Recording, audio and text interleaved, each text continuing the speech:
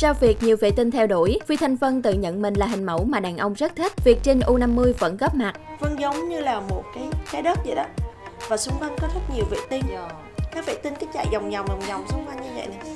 Có những anh thì tự hút vào, có thể là chưa đủ duyên thì sẽ lại lui ra.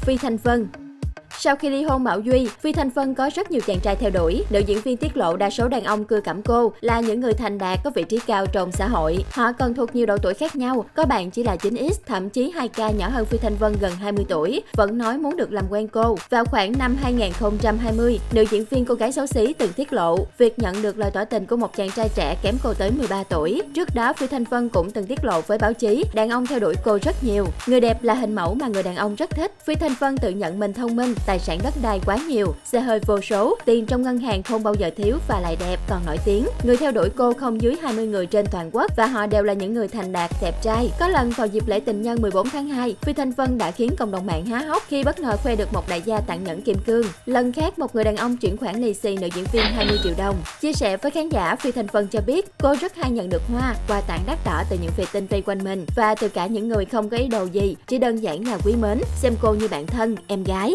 Bảo Anh. Bước ra từ cuộc thi tìm kiếm tài năng âm nhạc, dù giọng hát chưa được đánh giá cao, thế nhưng Bảo Anh may mắn sở hữu một gương mặt đẹp cùng vóc dáng quyến rũ rất thu hút. Cô nàng cũng là một trong nhiều nữ ca sĩ được bầu show săn đón nhiệt tình với mức cách xê cao ngất ngưỡng. Trong một lần trả lời phỏng vấn, khi được hỏi về chuyện có hay không đại gia theo đuổi tình cảm của mình, Bảo Anh cho hay cô không phủ nhận và cũng không khẳng định. Cho dù có nói không thì mọi người cũng không tin và nghi ngờ nói dối. Nữ ca sĩ bộc bạch. Tuy nhiên, một người đàn ông quá nhiều tiền hay đại gia không quan trọng với tôi. Có thể tôi sẽ có rất nhiều người bạn là người thành đạt, giàu có. Người cua thì nhiều, nhưng có lẽ lắm mối tối nằm không.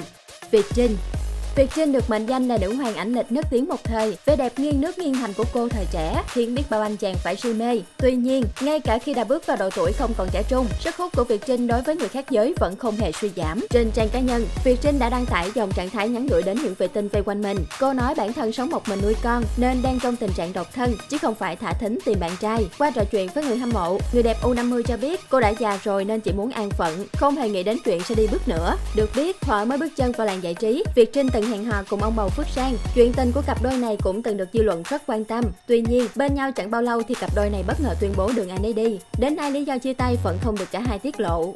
Hồng Quế Nổi tiếng với hàng loạt thị phi, nhưng không thể phủ nhận Hồng Quế là một sao nữ xinh đẹp và sở hữu ngoại hình quyến rũ. Theo lời kể của mỹ nhân sinh năm 1994 này, không chỉ ở Sài Gòn mà lúc còn ở Hà Nội, cô từng nhiều lần nghe được rất nhiều lời đường mật dụ dỗ của các đại gia. Dù vậy, chân dài sinh năm 1994 luôn biết cách từ chối hoặc chỉ dừng lại ở mức độ xem nhau như anh em. Hồng Quế còn cho biết tiền thì ai cũng mê cả, không chỉ có riêng cô. Tiền có thể mua được mọi thứ, nhưng không thể mua được tâm hồn, trái tim. Người đẹp đủ khôn ngoan để lường trước được những cám dỗ cạm bẫy trong giới showbiz. Xinh đẹp giỏi giang và nổi tiếng. Không khó hiểu khi những sao nữ Phoebus kể trên lại được rất nhiều đấng mày sâu lắm tiền nhiều của tán tỉnh. Tuy nhiên, họ đều đủ trải đời và trưởng thành trong suy nghĩ để biết ai mới là người phù hợp với mình.